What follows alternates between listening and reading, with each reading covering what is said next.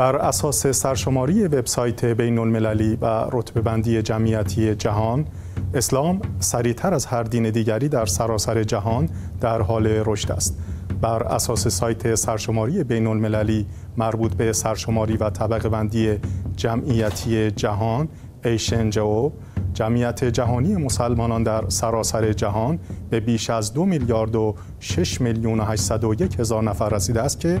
بیش از 25 درصد از کل جمعیت 8 میلیارد نفری جهان را نشان می دهد. از نظر تعداد پیروان در سراسر جهان اسلام دومین دین بزرگ جهان است و دین اسلام بخشی از نظام رسمی 26 کشور در آسیا، آفریقا، خاور میانه و جنوب صحرای آفریقا محسوب می شود.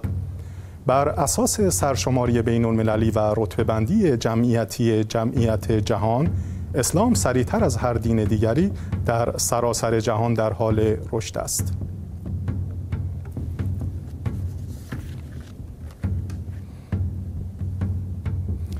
تعدادی از هنرمندان و بازیگران تئاتر در کشور اندونزی با اجرای یک نمایش تئاتر با محوریت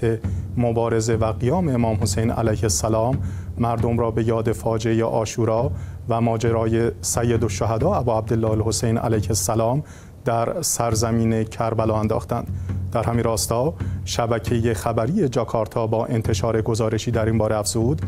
در این نمایش تاد نحوه به شهادت رساندن امام حسین علیه السلام و فرزندانشان و یارانشان توسط این هنرمندان جوان به نمایش درآمد. این گزارش افزود استقبال بسیار خوبی از این نمایش شده و مردم از دیدن آن به وجد آمدند. در این نمایش درباره جنایت های معاویت ابن ابی سفیان و یزید ابن معاویه لعنت الله علیهما نیز توضیحاتی داده شد.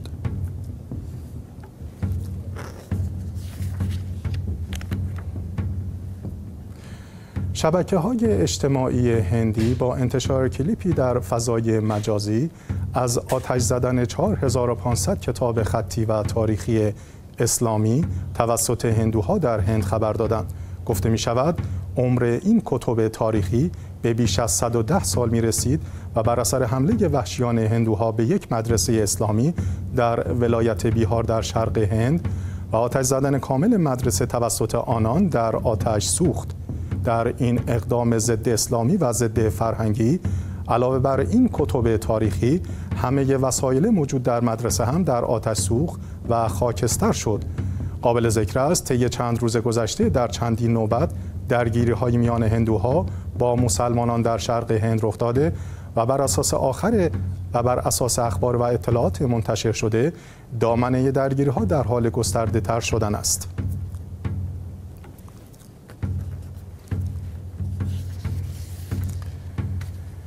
منابع عراقی از عملیات موفق نیروهای هشت شعبی علیه بقایای سنی های تندروی داعشی در استان نینوا در شمال غرب این کشور خبر دادند. هشت شعبی عراق در بیانیه اعلام کرد نیروی مشترکی از اطلاعات تیپ 59 هشت شعبی و امنیت ملی عراق موفق شدند دو عضو از بقایای سنی های تندروی داعش را در استان نینوا دستگیر کنند. شایان ذکر است مسئولان عراقی اخیرا از کشته شدن 17 داعشی در عملیات ارتش این کشور در شمال عراق و بازداشت پنج تن دیگر از آنها در شهر اویجه و استان صلاح الدین خبر دادند.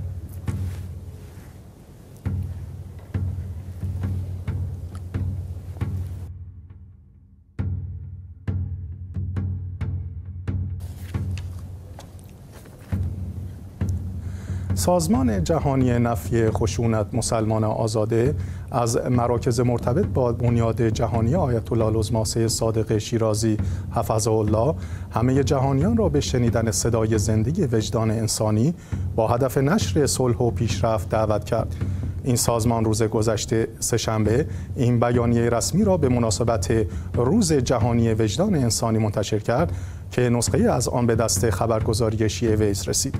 در این بیانیه همه رهبران کشورهای مختلف جهان و مردم سراسر جهان به شنیدن صدای زنده وجدان انسانی با هدف نشر صلح و پیشرفت دعوت شدند. به ویژه اینکه جهان در وضعیت خاصی به سر می‌برد و صلح و ثبات در همه جای جهان برقرار نیست و بسیاری از مناطق جهان نه تنها پیشرفته نیستند بلکه از عقب ماندگی رنج می‌برند.